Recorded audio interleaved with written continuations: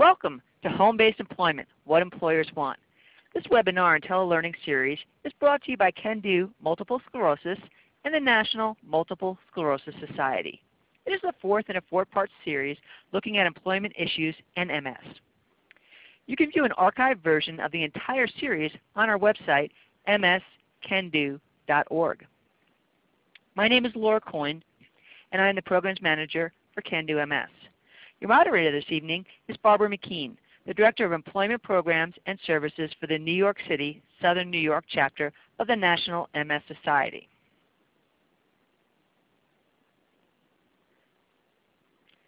CanDo MS is an innovative provider of lifestyle empowerment programs for people living with MS and their support partners. Through our programs, we empower people to manage their disease and move beyond their MS by adopting active and healthy lifestyle behaviors. Please visit the CanDo MS website, mscando.org, to learn more about CanDo MS's online and nationwide in-person programs. CanDo MS is excited to partner with the National MS Society and bring you 15 webinars in 2016. At this time, I would like to introduce Barbara McKean. Thank you, Laura. Good evening, everyone.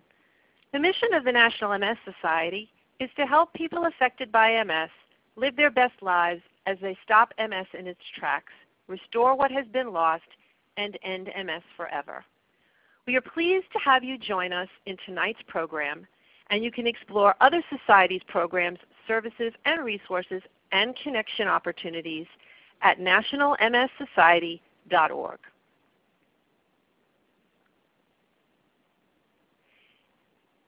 We will save about 15 to 20 minutes at the end of this webinar for questions and answers. If you do have a question, please post them in the chat feature located on the left side of your computer screen. To submit a question, type in the small box that says Chat with Presenters. You may want to wait a little till the uh, latter part of the presentation to see if your questions answered during the program, as many questions were shared with us prior to the program, and our presenters plan to do their best to address them throughout the presentation. Just note that this presentation is being recorded and will be archived on CanDo MS's and National MS Society's websites. Because this is being recorded, all telephone lines have been muted. The topic for tonight's webinar is home-based employment, what employers want. The aging of our workforce has caused employers to prepare for a time when there may be a shortage of workers and they will have to become more accommodating to employees, such as older workers or workers with disabilities who might need the option of working from home.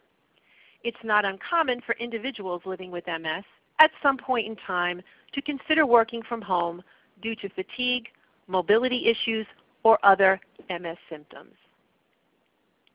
This evening our presenters will address work at home benefits, types of work at home jobs, requirements, where to find work at home jobs, application and interview tips, accommodation, and other questions. Our speakers for this evening are Sally Jones and Paula Vieillet. Paula is the CEO of Employment Options and is a nationally certified vocational evaluator who has expertise for over 20 years helping people with physical, mental, and emotional challenges find suitable jobs. Paula is nationally recognized as a consultant, well-known speaker, and has consulted with the Social Security Administration on their Ticket to Work program. Sally is a virtual recruiting professional with over 10 years experience focusing on work-at-home employment. Most recently, she was the Senior Director of Work-at-Home Candidate Experience for Sutherland Global Services, where she led a team of home-based recruiting professionals supporting six unique lines of business in several different industries such as telecom, cable, financial software services, gaming, and retail. And you might find it interesting to know that the Work at Home division of Sutherland experienced tremendous growth over the past year, more than doubling in size as employers are realizing the benefits of having a remote workforce and more people are choosing a work-at-home position for work-life balance and flexibility. Now before I turn the program over, we have a polling question for all of you. Um, we'd like to know what are you most interested in hearing about today. So to answer this question, you're just going to click on one of these options. Work at home opportunities, finding work at home opportunities, work at home pros and cons, how to avoid scams, and what employers are looking for. So just click on one of those little squares and we'll give you a little time to do that. We're going to have a few more little polls throughout the presentation, so is kind of just to get you prepared. We still have a lot of people clicking, so I'm going to wait a couple more minutes. So as you can see, finding work at home opportunities is um, largely what many of the people on the call want to hear this evening, as well as um, what kinds of work home, home, at home opportunities there are and uh, how to avoid scams. I know that in the pre-questions that was a particular interest to many, many people. And of course what employers are looking for. So on that note, I am going to turn the program over to Sally and Paula. Thanks, Barbara. So um, I'm very happy to be here tonight, and I just wanted to start off with, uh, you know, what do you picture? You know, what is it that you think when you hear work from home? Um, you know, are you thinking about uh, hanging out in your pajamas all day? Are you thinking about uh, the fuzzy slippers? I can tell you that I have uh, consistently enjoyed the fact that I haven't had to go out and scrape my car windows in the wintertime to go to uh, commute to work. There are definitely some things that are, are benefits that come along with working from home. But there are some, you know, things that you might not consider. Uh, you can't necessarily work from home so that you can do other things at the same time. Um, it's very unlikely that you can have a work at home position where you'll be able to take care of yours or, or your neighbor's kids, uh, answer the door, pick up packages. You know, there's a, a lot of, of different things that you need to consider, uh, not just the benefits from a work at home standpoint. But let's talk about the good stuff first and foremost, shall we?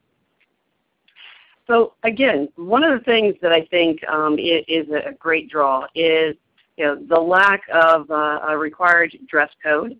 Um, if you sound like you are wearing a three-piece suit, if you sound like you have your hair combed and your lipstick on, um, that's you know that's great. That's really a lot of what it comes down to because employers are looking for you to use your voice in, in a lot of these positions, and so the ability to uh, you know, maintain that, that uh, professional image uh, is, is, definitely important. Skipping the commute, fantastic. I got to tell you, that, that was really a, a big benefit this past uh, winter. Saving money on, on lunch and dry cleaning, there was a, a Starbucks in the lobby of where I used to work. And I got to tell you, that was really, really expensive habit. Um, going into you know my kitchen and brewing a cup of coffee uh, with my Keurig is, is a great savings uh, over what I did before. But you know, there's uh, other benefits that you might not consider.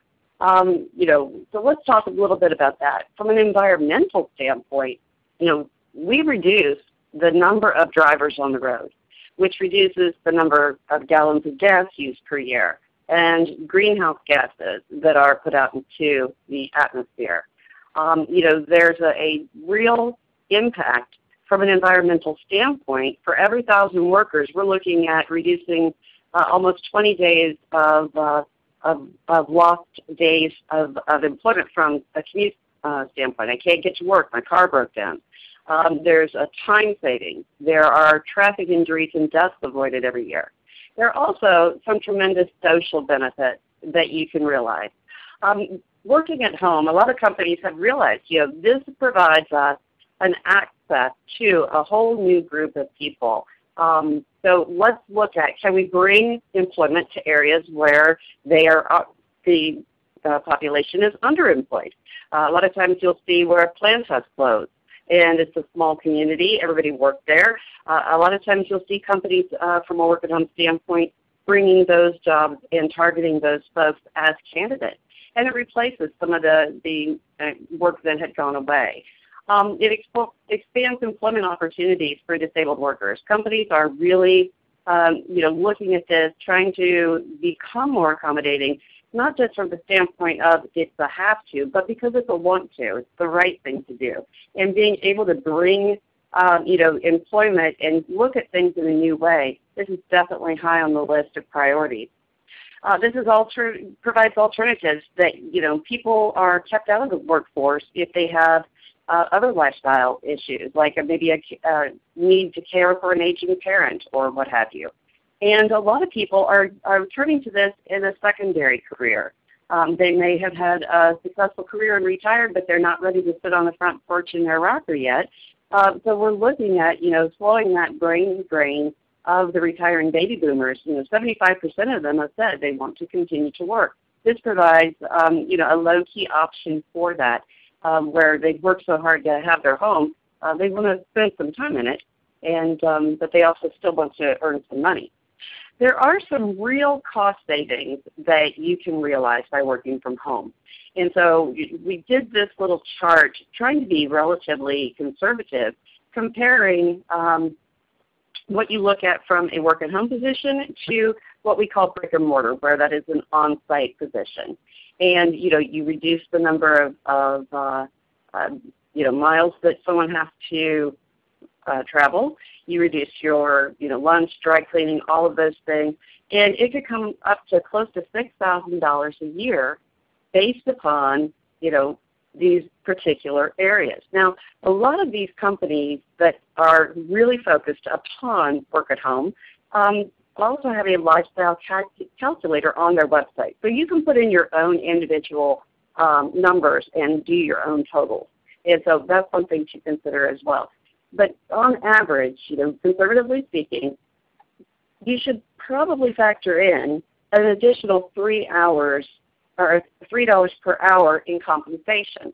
So if you're looking at a work at home position that pays $9 and an on-site position that pays 12 they're really um, equal in that regard. So that's something to keep in mind as you're considering um, work at home because a lot of times you will see that the, the rates do seem lower and this is part of it.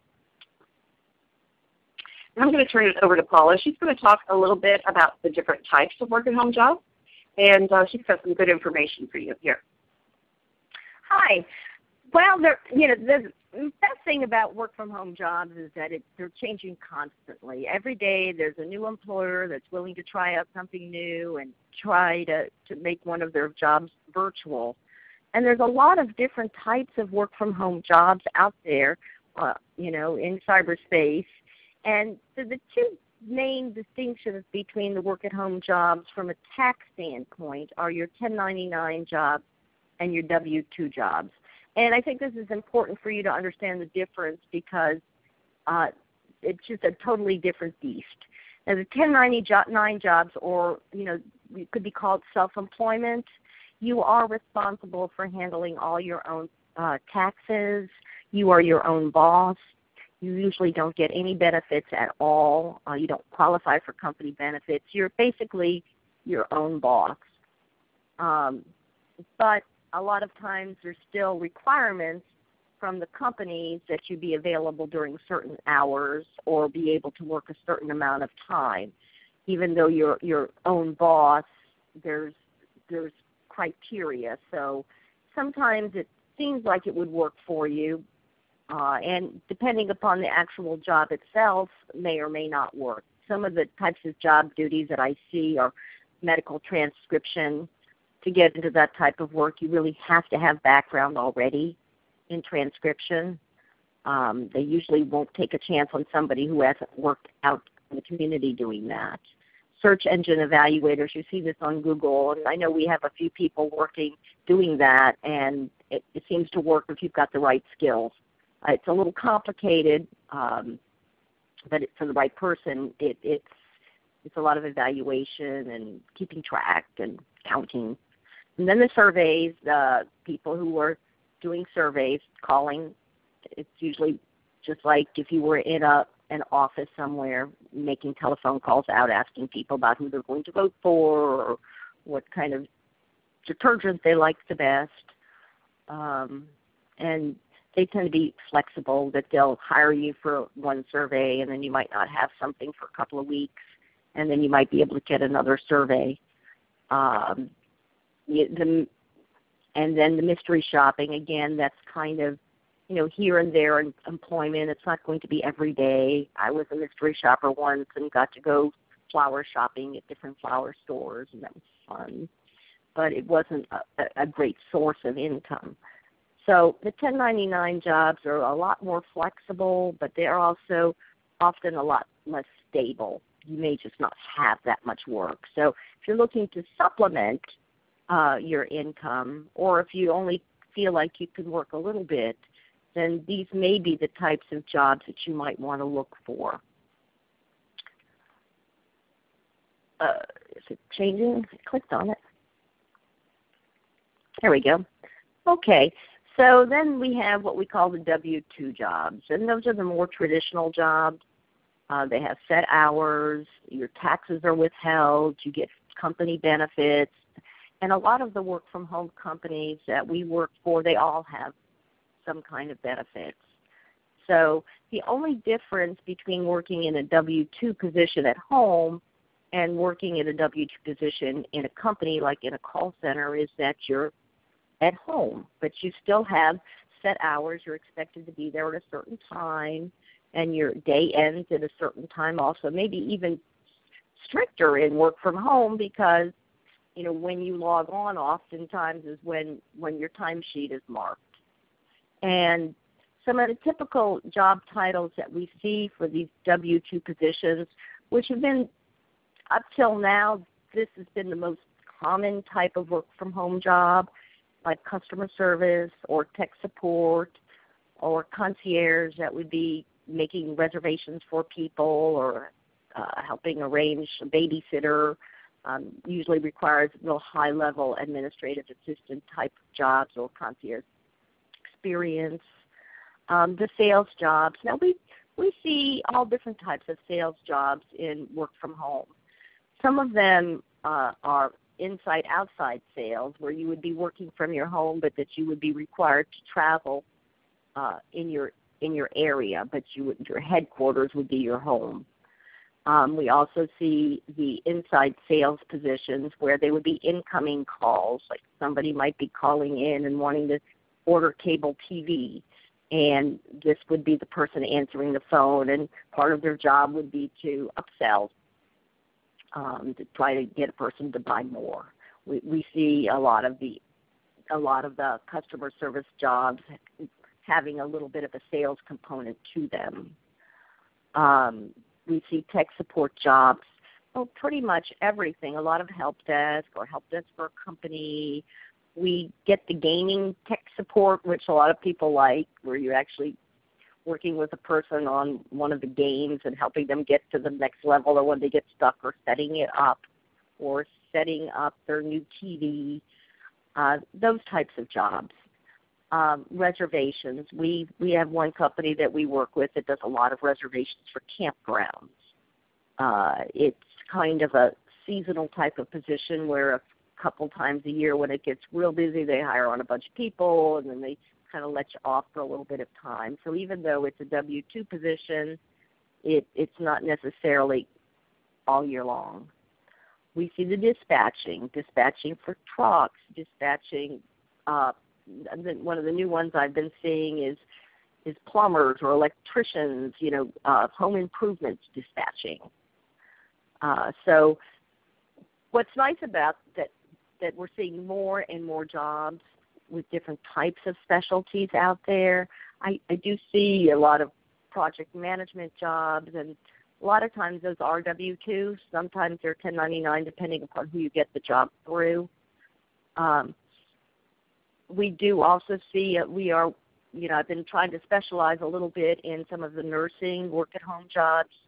What I'm finding with the nursing is that if you have recent experience, like within the last three years, uh, they're more likely to consider you uh, because I guess if you haven't been working in nursing for in the last three years, then you're out of date with some of the different pharmaceuticals that have come out, and um, sometimes they like you to take a refresher course uh, to get up to speed. And then they have the IC10 that's come out, and so with the medical coding, I do see medical coding jobs out there. Uh, again, most of the work from home jobs that I see require that you have some experience in medical coding, um, and that they, uh, you know, if you've just gone and gotten your medical coding diploma in one of the on-site, you know, one of the virtual training programs, and then even if you've had some medical experience, unless you've actually worked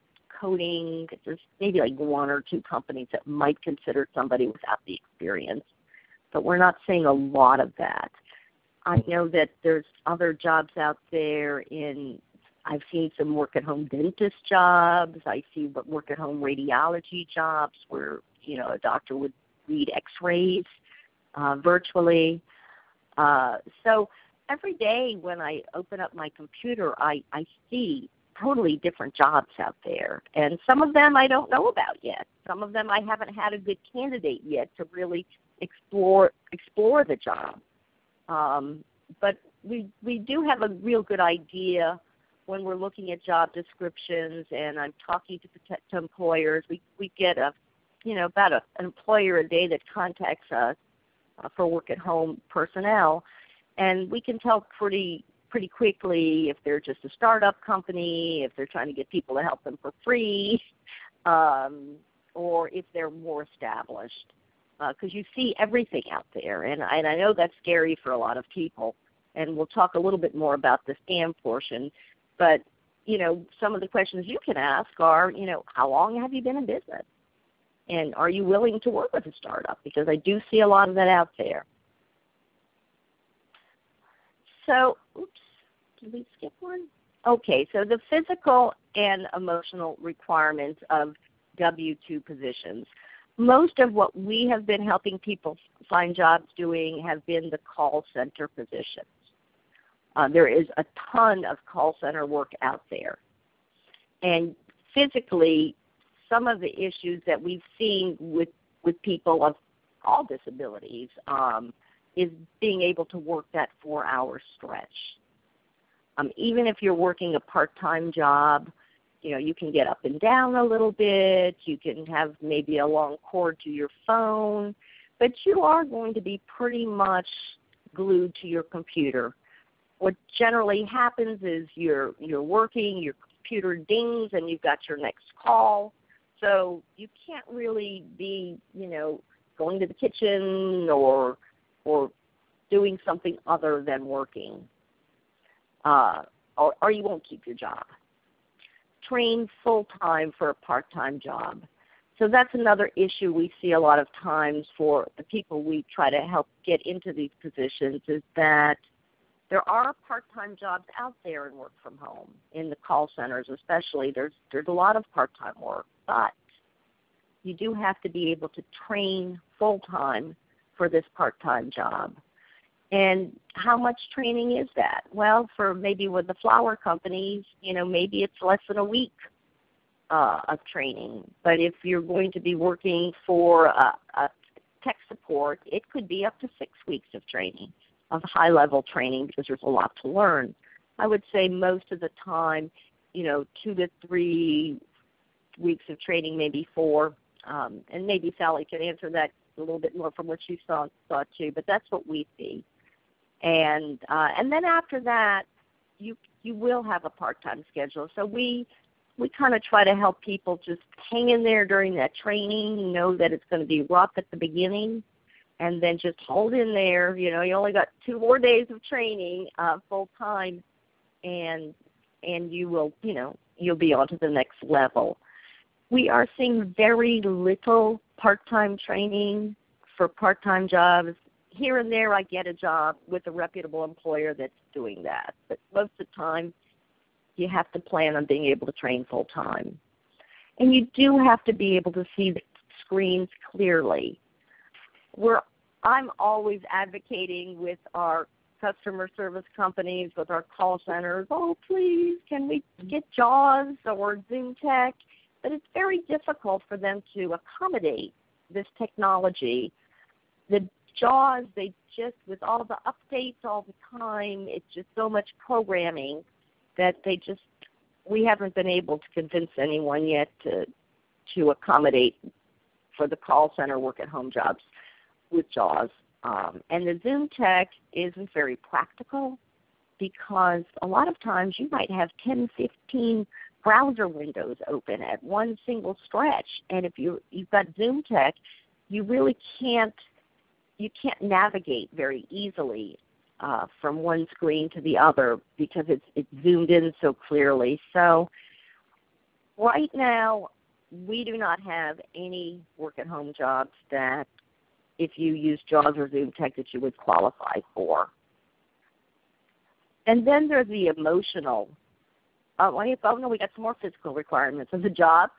So frequent keyboarding, and this is often an issue uh, with people with MS, and in that a lot of times I talk to people and they have trouble with their hands, they have trouble keyboarding. Well, these jobs require 25 words per minute minimum. And I'm talking again the work at home call center, work at home customer service, tech support. You are going to be talking and typing at the same time. So sometimes if cognitively some days aren't as good as other days, sometimes people have trouble with the multitasking portion of this job. Uh, it, and it's it's over and over.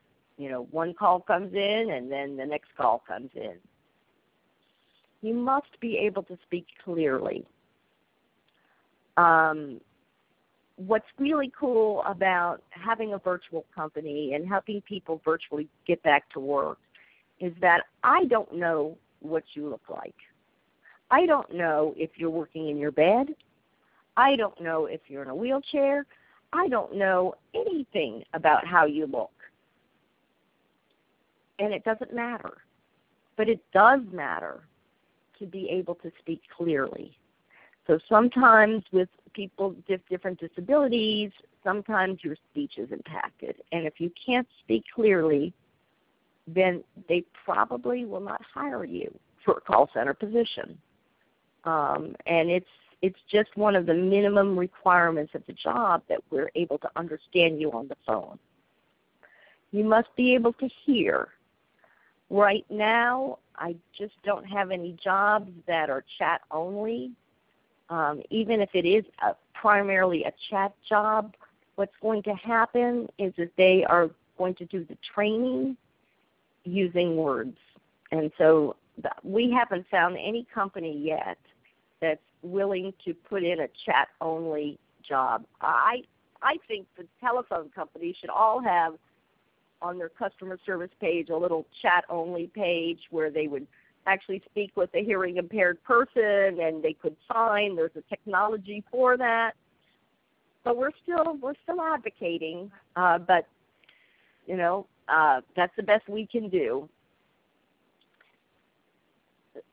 So then there's some emotional requirements of the job. I you don't want to talk with me when I'm talking with the with my phone bill that I don't understand. Sometimes it gets confusing and you're working with difficult people who are frustrated. They don't understand their bill. They don't understand why their internet's not working. They don't uh you know, they're having problems. So emotionally, you're going to be dealing with difficult people. You have to be able to empathize and you know gain their trust.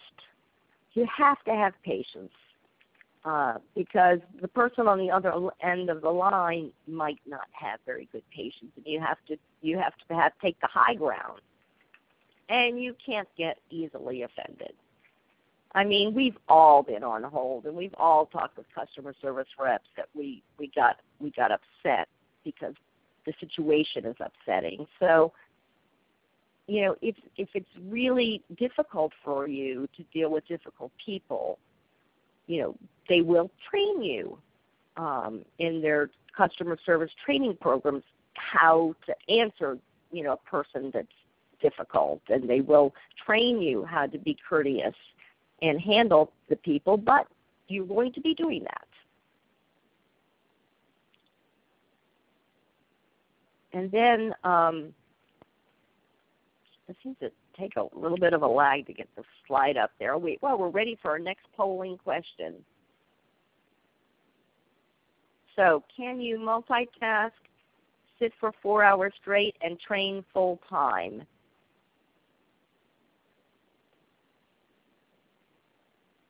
So, right. okay, so now that we work requirements. Yeah. So what are the work requirements? Uh, so all applicants must be legally able to work in the U.S. You must have a high school diploma or GED. And these are the work requirements for most of the call center tech support jobs, the W-2 positions that I'm talking about. You must have excellent communication skills. You must be able to work a set schedule, which often includes weekends, evening, holidays, and full-time training hours. So, you know, they're very we do get some Monday through Friday jobs daytime, but not a whole lot. And usually those jobs are going to go to the more senior uh, people in the company that they'll be offered those shifts first. Uh, so no, you really just can't get the holiday off. They need you on the holidays. You must have a quiet, noise-free home office, free of distractions. So no petting the dog, uh, no kids, no TVs on. Uh, I like to work outside, but can't really do that because the birds are chirping. Um, so it has to be quiet. You do need to type 25 words per minute, and they will test you. And most of the work at home companies require one year of customer service experience. Now, it doesn't have to be on the phone. You could have been a receptionist. You could uh, could have worked in retail or as a waitress. Uh, something that you're dealing with customers on a frequent basis. Some of the jobs are stricter about the call center jobs depending uh, upon the particular position, but there are jobs that if you worked at Walmart that you can probably uh, qualify for one of their positions. The medical jobs do require a current state license. Um, a lot of them have rep, rep, uh, I can't say this word reciprocity, um, and that um, so we have been able to to look up the states, and there are states that um, will allow a nurse to work in another state. Uh, okay, so Sally's going to talk some more about the work requirements. Right. So any of the positions, um, you know, work from home, it will have in the job description whether or not uh, you need to provide your own equipment or whether or not the company um, will provide equipment to you. So you should look at that as part of the job posting. Read the job posting carefully. Uh, but generally speaking, we're looking, you know, you'll be uh, looking to have either a laptop or a computer, uh, Intel-based computer. Macs are generally not accepted. Chromebooks, all-in-ones, those generally are not accepted either. Um, you know, all of the companies are going to list out what their internet requirements are, upload, download speeds, and all of that. And you don't have to necessarily know what they are because the testing will you know, capture that information for the company. But what's important about that is is that most of the companies use voice over IP technology. So you would not necessarily have to have a landline in order to do the work. You'll take the calls through your computer. So a lot of times, uh, you know, your, your company that you represent is going to send you a computer that has everything on it. Other times, they're going to ask you to bring your own equipment, have it tested, and provide uh, the Internet connectivity for that. So definitely, as far as requirements go, um, definitely look at the job description. Uh, companies are required to put things in the job description if they're going to hold you accountable to them. So make sure that you're reviewing that you know, carefully. Um, any company is also going to have some certain uh, background and uh, due diligence requirements. All companies are going to ask you to do the federal I-9 uh, that's required within the first three days. A lot of companies have all the paperwork work, uh, requirements worked out virtually. So you'll be providing all of this and you'll be doing all of this from your own home. again, everything from applying for the job, interacting with your recruiting um, staff, the hiring managers, uh, up through the training can all be done virtually at home. So let's talk a little bit about you know, how to avoid some of the things out there that we've all read about, right?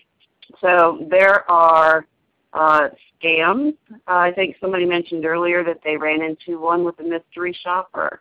So first and foremost, if any company is asking you to spend any of your money in order to make money for them, just delete them, put them uh, in your junk mail folder. You know, don't don't uh, give them any credence. It's important to do your homework, um, and there is a ton of information out there.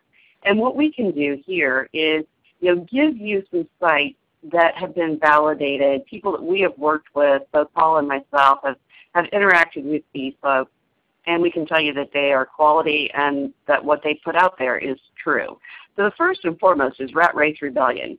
Chris Durst founded this company, and um, she speaks often. Um, I've seen her on Fox and Friends. She's been invited to speak on Good Morning America about avoiding work at home scams. She has a tremendous list of information on her website. The companies that she lets advertise there or have posted there um, have been personally vetted and vetted, uh, vetted by her. If she doesn't know who they are, or if it's a Facebook ad uh, that is on her site, she you know calls that out as well. So lots of really great information on that site. Two sites that have really super information for people that are looking for um, you know more professional type of uh, uh, position um, using your you know college degree or your specific training. Um, you'll see those on FlexJobs and Virtual Vocations. FlexJobs, again, tremendous information about all these different companies that are out there. Um, they do a lot of seminars, webinars uh, with people, and uh, these are you know based on the companies. Now this is both uh, FlexJobs and Virtual Vocations. You do have to pay a membership fee um, in order to see the jobs and to you know apply for the jobs through their site. But I can tell you that a lot of companies um, look at them as source material, meaning they look at where the candidates who apply to them are coming from. And you know, if they're coming through one of those sites, they have a better uh, opinion of that person before they even talk to them. So you know, definitely take a look there. On virtual vocations, you will see everything from you know um, a, a, very basic position all the way through an executive vice president position. So there are a lot of uh, varieties out there. Keywords to look for, remote, uh, telecommute, virtual. Um, it's really difficult to uh, look for those jobs on LinkedIn and Career Builder. Uh, so sometimes you have to go into the advanced search option and use that as your keyword um, and then select the particular job field like human resources or managerial or IT, and then it will show you any position that has that in their title. Um, I can tell you that companies have a lot of information or a lot of uh, difficulty trying to, to you know, capture uh, the right the right uh, terminology because it's work from home, work at home, uh, you know, so there's a lot of different options. So if you get stuck on one, change it up and, and try a different one. Um, the uh, the um, fees are about you know $15, $16 a month. If you want to try it out for a month, uh, you can also do it for a longer period of time. Uh, so you know definitely that's something to take a look at and consider.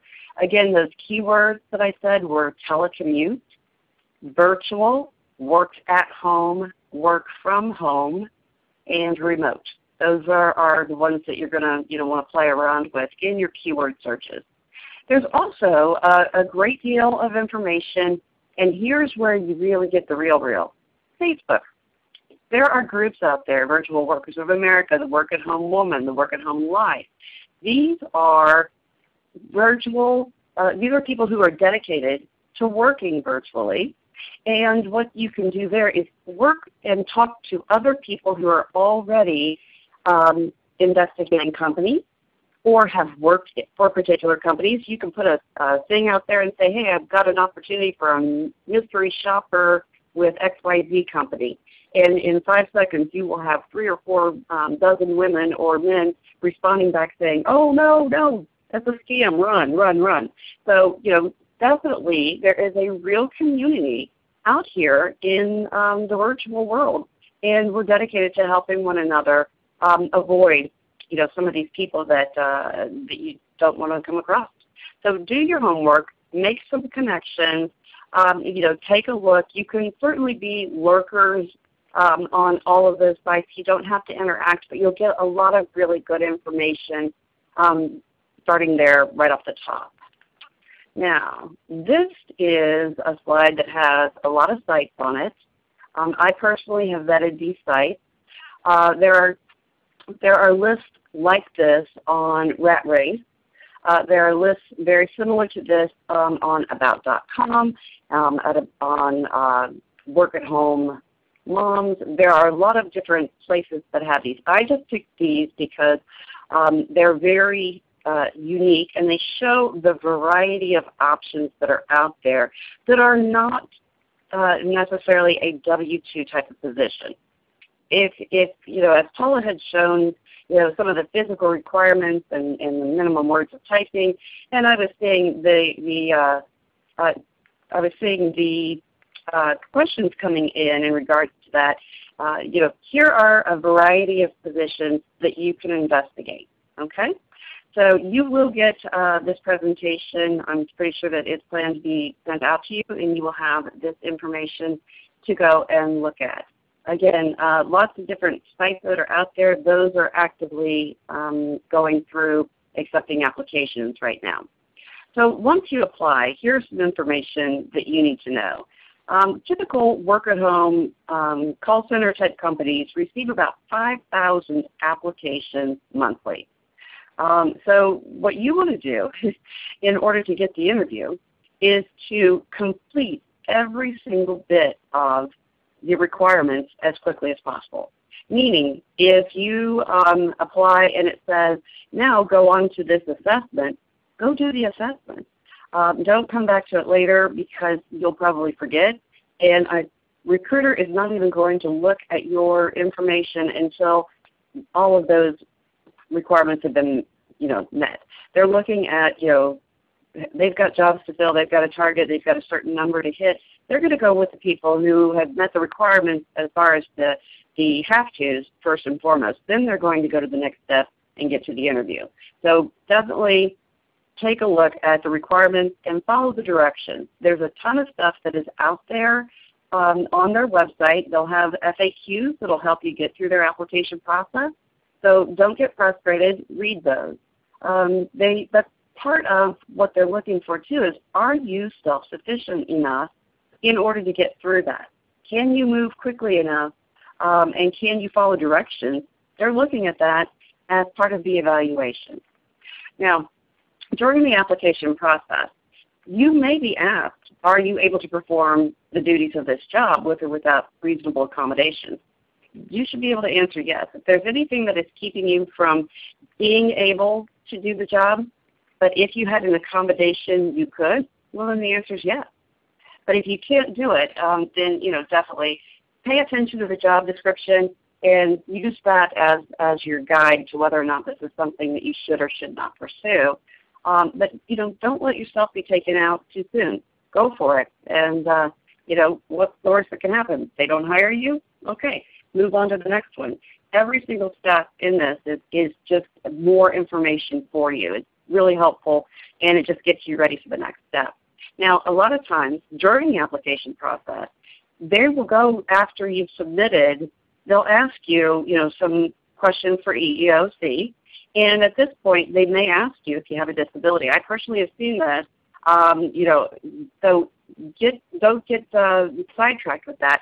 It doesn't go to the recruiters. They won't see that particular stuff. Companies are trying to capture that information, and you may also be asked to complete the 8850 um, and this is, a, uh, what, this is so that companies can receive a tax credit, and this can also sometimes be helpful for you. um, you'll be, you know, so go ahead and, and don't be um, concerned if you're asked about these things. It won't be used to evaluate you and discriminate against you. Okay, Paula. Um, so we, we have another polling question here. How many of you are on SSI or SSDI? Uh, we're trying to get an idea of how many of you actually on on on Social Security disability. So uh, one thing I wanted to mention is that if you are on SSI or SSDI, it's very important for you to be enrolled with an employment network or with a voc rehab to help you go back to work, regardless if you need help or not, because your your ticket benefits will be protected if you are enrolled with an employment network. And also we are able to get information for you and help you out with your benefit planning that, that other people would not normally be able to do. Uh, we focus on helping people find W-2 employment. We have earning requirements that um, that the whole purpose of the Ticket to Work program is to help people eventually uh, leave the disability rolls if they are able. Um, that said, if you are uh, you know, a high wage earner, you have a 1099 job, you're a nurse, you're a, a project manager.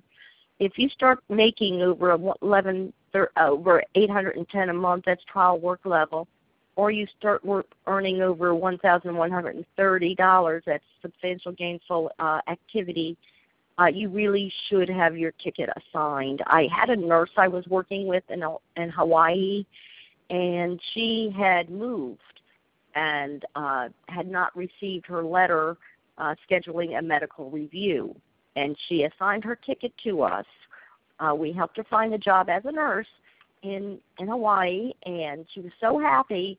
And then all of a sudden, she she called them and she got the the medical review letter, and they said, "Well, you have to go to your medical re- review." And she says, "Well, you know, I'm assigned, my ticket's assigned to an employment network, but they said yes, but the letter was mailed first. And so that date of the letter took precedent. She actually had an emotional disability. They said, well, now you're working, so now you don't have an emotional disability, and she lost it. So just make sure that you're you're protected, and that is by working with an, an employment network or with your vocational rehabilitation. Let's see. Um, what's special about Employment Options is that we work with some of the largest call center operations in the country. Uh, back in 2007, it seems like every other person that called me wanted work at home jobs. And so we really targeted work at home employers. And now we've got these great relationships where they may have received 5,000 applications that month and we may have referred 20 people to them and we'll meet biweekly with the recruiter who will actually give us feedback on each one of our candidates, why they are going to go on to the next step or why they're being passed over. And this really helps. It really helps us to get feedback to find out where, you know what's holding you back from these work from home jobs or if you need accommodations. We, we have a really good con- contact with the employers. Uh, we we've worked with a lot of almost all of the larger employers we work with, and we really can help you navigate the different employment opportunities out there. We know which which companies training is a little more difficult. Um, so uh, that's well, Paul, I think uh, the fact that you can get feedback from people is really positive uh, because a lot of times it feels like you know you go into this big black hole uh, after you apply with a company. So you know I think that that can certainly uh, that's certainly one of the best things. And I know from an employer standpoint, you know when someone has been referred by your organization, we know that they've already been screened, and that's why I think um, you've had such success is because you know you you do provide a service for both the candidates and for the employers. Oh, the employers love us they know they can give us. They do. They they know they first of all they know everybody's been pre-screened. They know that everybody's got the right computers. They've got the right cell phone. They've got the right phone set up, um, and so they don't have to worry about that. And they also know that they can give me honest feedback. Everybody we work with has a disability. and while I wish it wasn't so, not everybody with a disability is as well suited to these types of jobs someone else.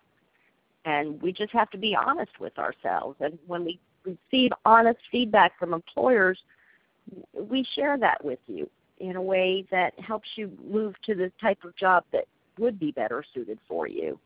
So I think that's that's really important that we're able to do that.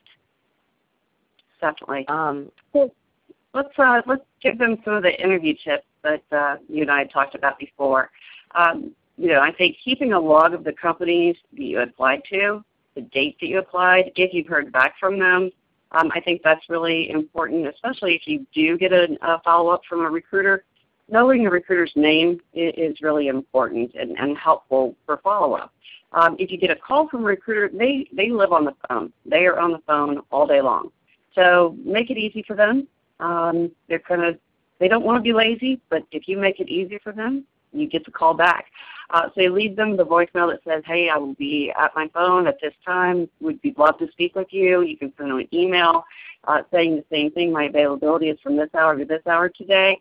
Um, and you know you can set up an interview by email without having to play phone tag all day. So definitely that's something um, for you to consider as well. And then the biggest one is uh, check your spam folders. A lot of times companies do send um, you know, mass emails about positions and they can get routed to your uh, junk mail. And you don't want that to happen. If there's a company that you are targeting that you want to work for, send them to send their, um, make sure they're on your safe senders list so those messages don't get routed to your junk mail. And um, let's see. So another thing to remember is, you know, anytime that you're interacting with someone from the organization, it might not be the position for you at that time, um, but there might be another one within the company that comes up. And depending upon how you handle the interaction with the, re the frontline recruiter, that's going to make a difference on whether or not you get that consideration for the next step. So, um, you know, keep that in mind. They can make sure that you go no further, or they can make sure that you, you know, are considered for everything. Um, review the job description. I said that before, but I can't emphasize that enough. Um, think about the questions that you want to have asked in regards to the position. Um, this should demonstrate that you understand what the job is, that you've listened to the recruiter as you've had the, the interaction, that you read the job description, and that you know what the company is all about. Um, talk about the compensation benefit and your need for accommodation later on, uh, not during the initial interview, unless you are specifically asked. And if you are specifically asked, you should probably take some very good notes about that conversation. Uh, that's for your benefit and your protection. Um, and then do ask them what the next steps are in the recruiting process. Thank the recruiter for their time. Always be thinking, even if I don't want to work for this company, it may be, you know, it's best to leave things on the right note because you never know um, where they're going to end up the next, where you, your paths may cross again. Uh, in regards to the accommodation questions, you know, Paula, we, we've, uh, I think we've covered some of these already in regards to the training for part-time jobs. Almost all the time it's full-time. And that's because, you know, companies have a real desire to get you profitable and productive as quickly as possible. So they, you know, they're designed for full-time training. Training can be anywhere from a week, like Paula said, for a seasonal position to provide support for a, a, a flower uh, company during their busy season, or it can be as long as, you know, six to eight weeks for more technical positions. Keeping that in mind, that should be disclosed to you during the interview process uh, you should just be aware of that during that time that time frame. Uh, Paula, in regards to attendance, have, have you had any conversations with uh, your your employers where they've had some uh, some discussions with you about that? They do, and really there seems to be a pretty low tolerance for missing any training days. Now we have had employers that somebody's been training and then their house burnt down and we were able to get them to start the next training or they were hospitalized and they were able to start over again. But you can't just stop and have, you know, a day where you had a bad day. Uh, the training is they require 100% attendance, so that's difficult.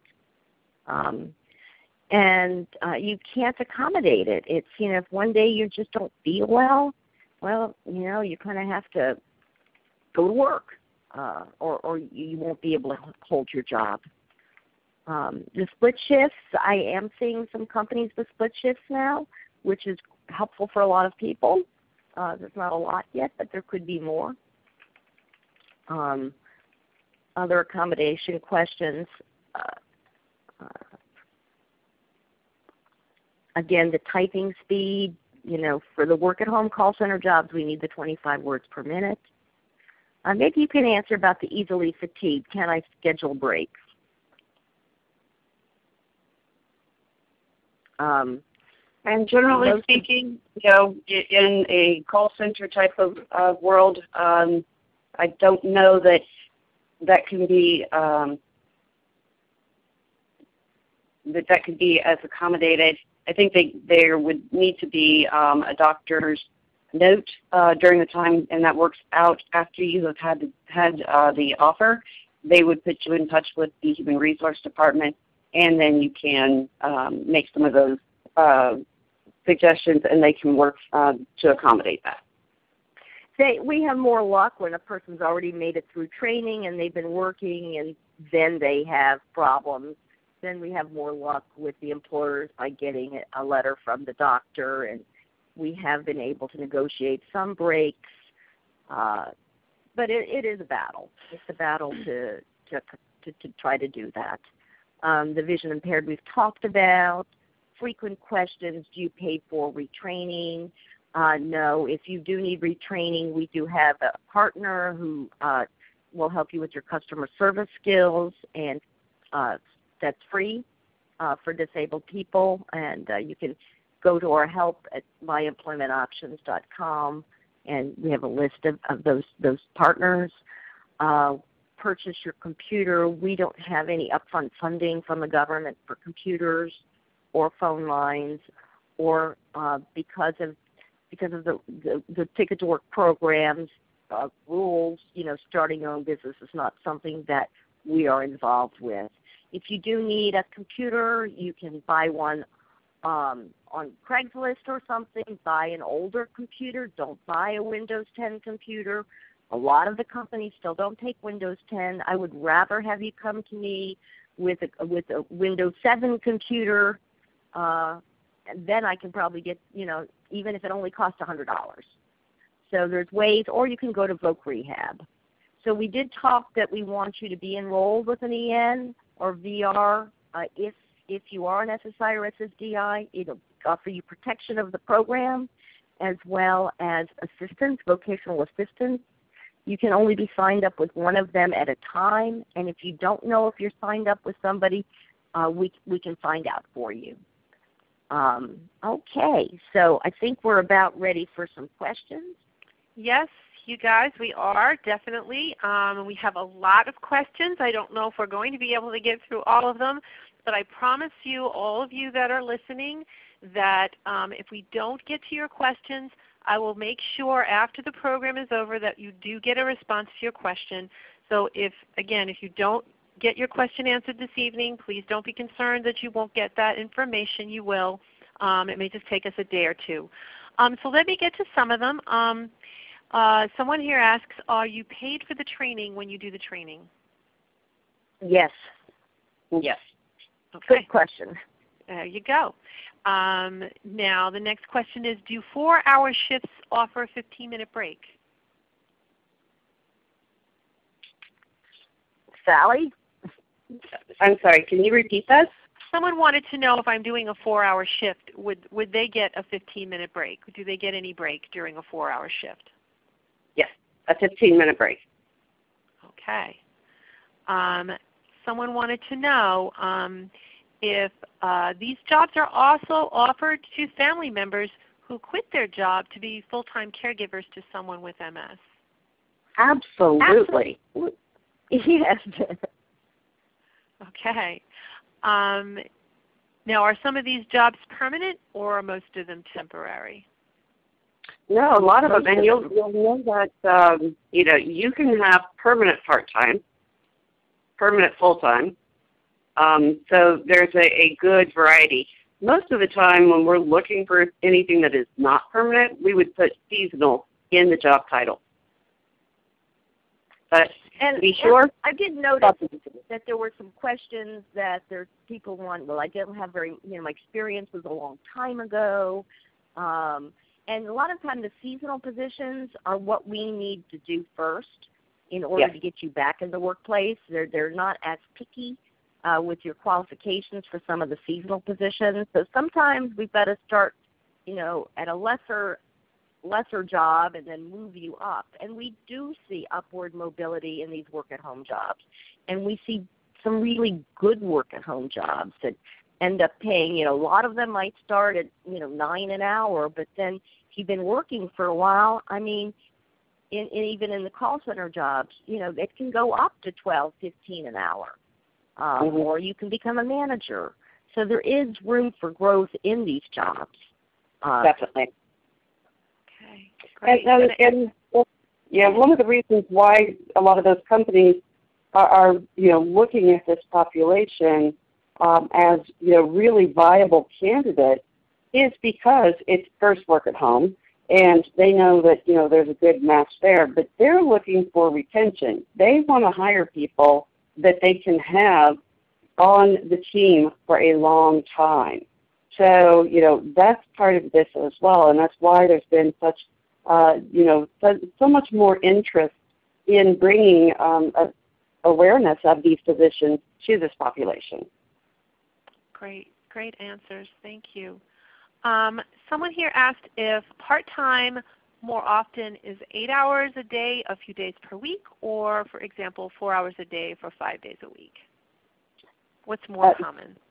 Yeah, it's generally I- four to I- five hours, and it's generally evenings. Um, I've seen, you know, you would uh, anywhere from like, you know, six to ten, uh, seven to eleven.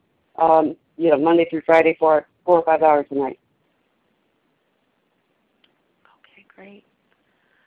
Um, now, an important factor due to our condition is a great medical benefits. Besides my MS, I also suffer from other medical conditions. Um, so expensive medical coverage is important to me. What companies provide that or where can they be found? Um, again, Well, in the I job description, you'll see whether or not they provide uh, provide those benefits. Companies really, I mean, they're trying to get uh, they're trying to get people excited, so they're going to list anything that's good uh, in the job description to try and pique your interest. Medical, dental, 401k, tuition reimbursement, you'll see those listed out. Okay, great. And if you are on, on Social Security, you do get the, the extended Medicare for up to eight and a half years.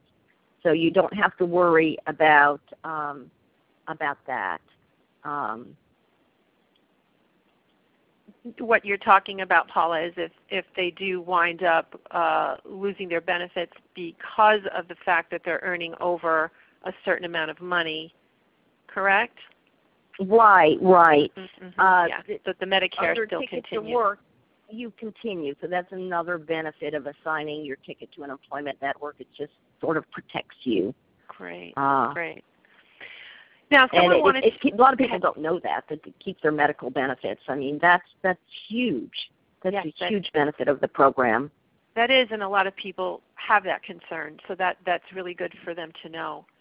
Um, someone also wanted to know if, if there is no sick pay or time off for sickness, and they ask because of the comment that was made, if you have an off day, you have to show up. There is Right. Sick time. Um, you Mhm. once you've passed the the training period. That's my understanding. Uh, but Yeah, during training, a lot of times it's a Mhm. hundred percent.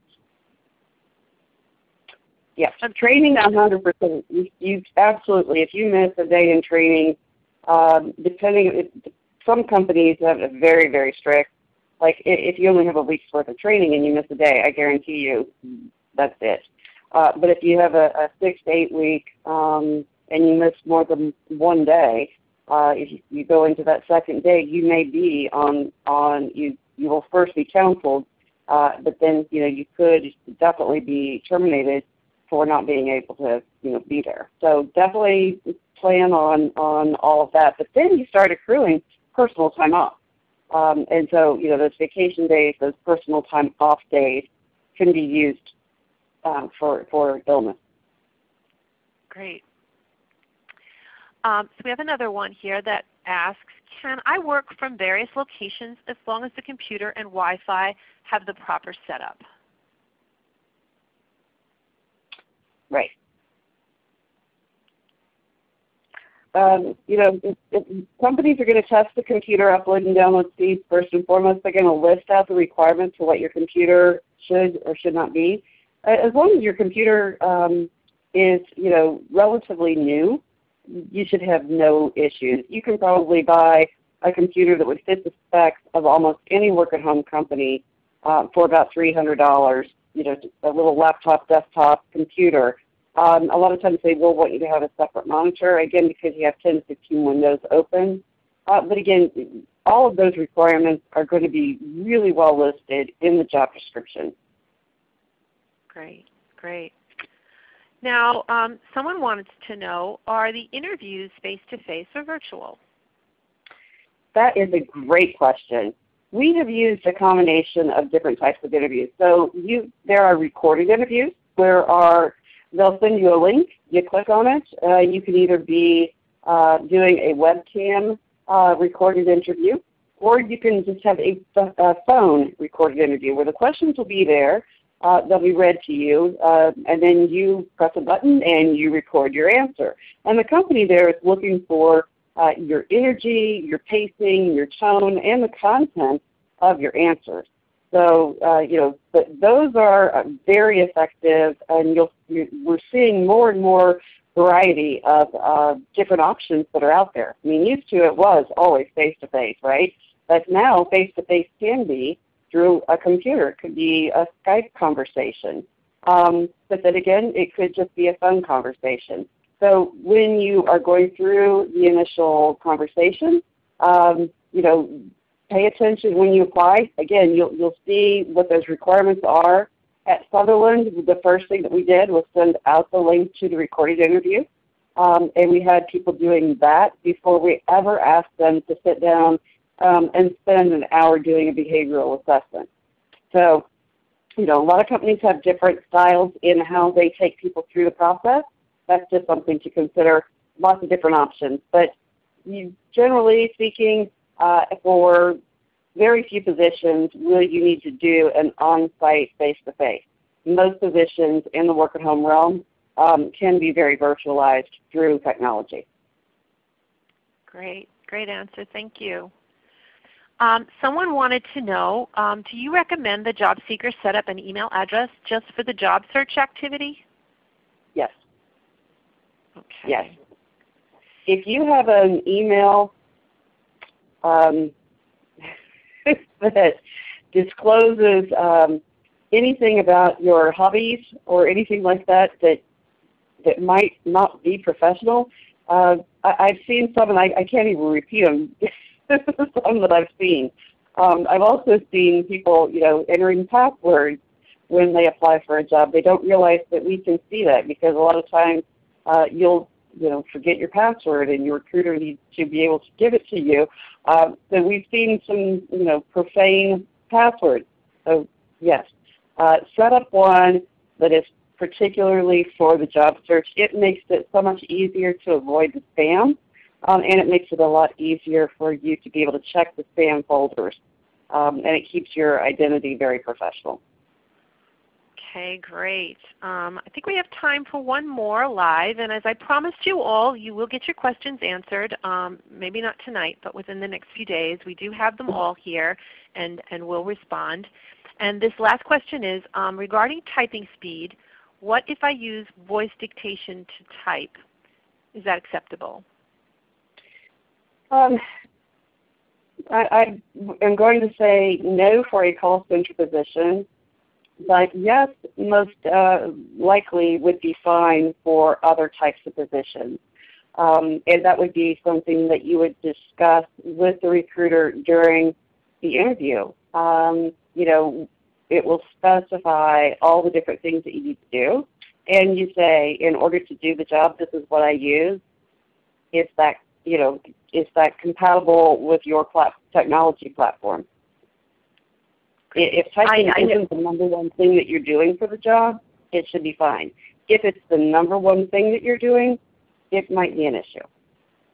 Okay, great. Great to know that. I know that we have a, a recruiter that we work with regularly who uses JAWS. So she comes to our job fair and is able to interact with people with her JAWS.